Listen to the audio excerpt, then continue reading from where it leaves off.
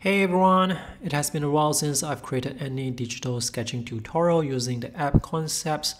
So in this video, I'm going to talk about how I created this sketch on location. This is the Asian Civilization Museum here in Singapore and I sketched this in 30 minutes so you can see the style is very loose and sketchy. If you have not heard of Concepts before, it's basically a drawing app that uses vector and it features an infinite canvas. So this app is great for drawing really wide scenes. If you want to learn more about using concepts, you can check out the many free tutorials that I have created on my YouTube channel. The links are in the video description below. So that's how the museum looks and unfortunately I did not take a reference photo from the angle that I drew. This is how the museum looks from this angle that shows the shadow side. So I was actually sketching from the other side that did not show the shadows. All right, let's look at my workflow. So here you can see two template files, the ink template and the pencil template. Now these are actually blank files with the tools or brushes already saved.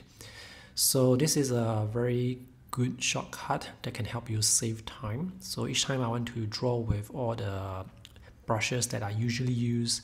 If I want to use the colors that I usually use, I will just duplicate the template file and all those brushes and colors are already there.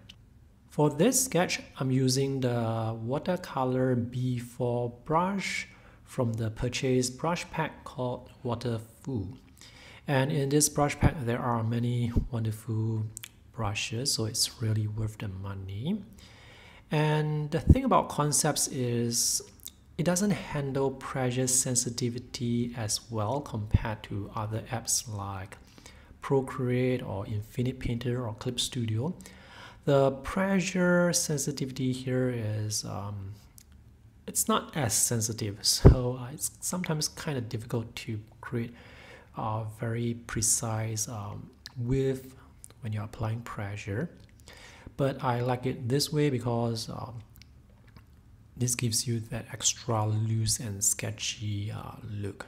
I started by drawing the museum first and I have already visualized a vanishing point on the canvas so the diagonal lines from the museum are actually converging at that vanishing point. Next I drew the balls and other objects around the museum and I pay very special attention to the distance between the objects and also the proportion. So when you are drawing from observation, you should always be checking the proportion and also the distance between uh, objects. That will make your sketch look more accurate. And even if your sketch is very stylized like the one that I am um, drawing, at a glance, if you show someone who knows how this museum looks, he or she will be able to recognize the building uh, even if there is even if there isn't much details or even if the sketch is really loose and sketchy. Notice how most of the lines have uniform thickness except for the lines where I press down harder to get the thicker lines. So that's the limitation of concepts. Uh, for some reason, this app is not great at detecting minor changes with pressure when drawing thin lines. Uh, even though the pen that I'm using, the Apple Pencil, is capable of detecting minor changes with pressure when drawing with uh, minimal pressure. When sketching on location, I'm always looking for a scene that has overlapping elements. So here you can see the trees overlap the museum. We have the reflective balls that are overlapping the museum and the museum will overlap some trees behind in the background which I'm currently drawing right now and the trees will overlap some buildings and the skyscrapers behind. So when you have foreground and background element it's going to make your scene look more dimensional. Oh, by the way, I forgot to mention earlier that I actually have some courses on drawing with concepts on Skillshare and also Gumroad. So if you guys want to learn more about concepts in greater detail, you can check out those courses. So now I am drawing the skyscrapers behind and I actually wanted to draw them with thinner lines but uh, if I want to draw them with thinner lines I cannot just apply minimal pressure. I have to you know uh, change the brush size manually because the app is not that sensitive with pressure. Okay so by drawing the skyscrapers now I have really tall buildings and when you have big and small elements in your scene it will give you this um, illusion of scale so now the museum will look smaller because there are taller buildings beside. So while sketching this I had someone came up to me and said oh did you draw that? I guess so since you caught me drawing Yeah, so it's unavoidable to have people uh, walking up to you, um, especially walking behind you, looking over your shoulders to see what you are doing, unless you are seated with your back against the wall. Anyway, uh, even if you feel self conscious, um, with urban sketching, you will learn to be less self conscious and you will definitely feel more confident when you sketch more uh, while you're outdoors. Do check out the many urban sketching videos that I have created over the years on my other YouTube channel. So right now I am coloring. I have the color layer below the line art and I'm using the fill brush. So I'm actually drawing shapes and this allows me to color really quickly. So the two styles that I like to use with this app is this uh, ink and solid color or flat coloring style. The other style that I like is the pencil and uh, pastel style, which creates the you know the coloring pencil effect. Yeah, I like these two styles. So depending on the subject matter, I may choose one style over the other.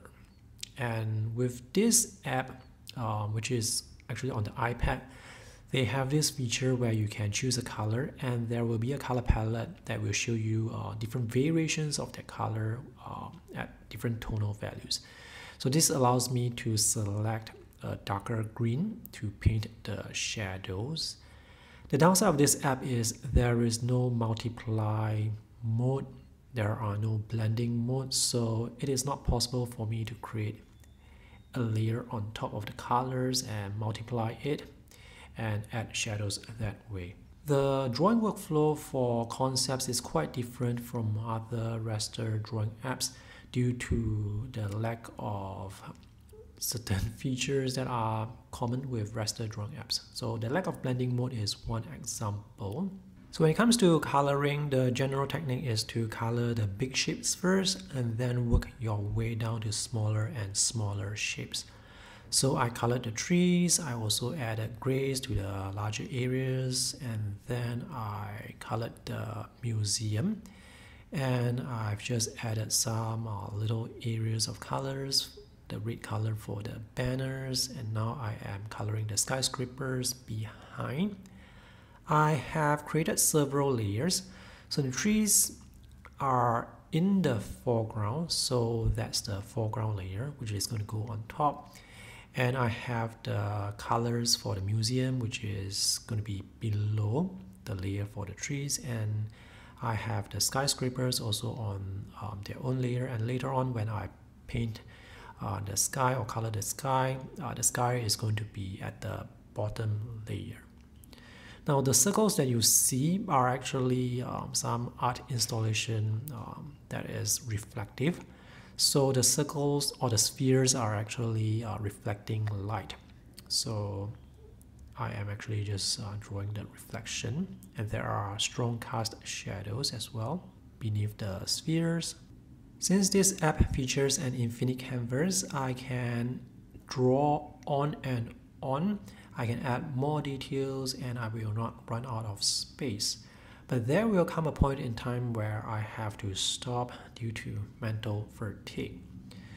So this sketch right now is not looking that balanced because I have the skyscrapers on the left, I have more line art on the left. So I want to make this sketch a bit more balanced, so I added trees on the right and there are actually uh, trees in the scene uh, on the right side. So I try to draw as much details as I possibly can and later on I can just choose uh, the composition or the frame to export to share my work online. So that's the nice thing about concepts. You can draw as much as you can and later on you can choose to zoom into certain areas and export that particular uh, scene that close up. So this sketch is almost complete. I just need to add more shadows from this tree that I was under. And I need to add some clouds. So it's so easy to draw the clouds with the solid fill brush. And it is the solid fill brush that uh, creates this very stylized uh, look. Um, this uh, may look like some children book illustration style. Uh, it could be. One of the big differences when it comes to sketching on location versus sketching from a photo is when you sketch from a photo, the photo will have camera distortion. And usually when you take a photo of buildings and you point your camera up, um, the vertical lines near the edges of the photo will tilt in. But when you're sketching on location, the vertical lines for the buildings uh, will always remain vertical. So that's one quick way uh, you can tell whether a sketch was drawn from a photo reference or drawn on location. So most of the coloring is already done. Now I just need to, you know, add more details, uh, spot colors at certain areas just to suggest details. Now the front of the museum is actually in shade, but um, it's not that clear from this sketch. But at least I managed to get the cast shadows on the ground, so um, at a glance we know that this is a pretty sunny day. And there are areas of strong contrast so now I'm going to create some windows on the skyscraper on the left side and to do that I am using the solid fill brush.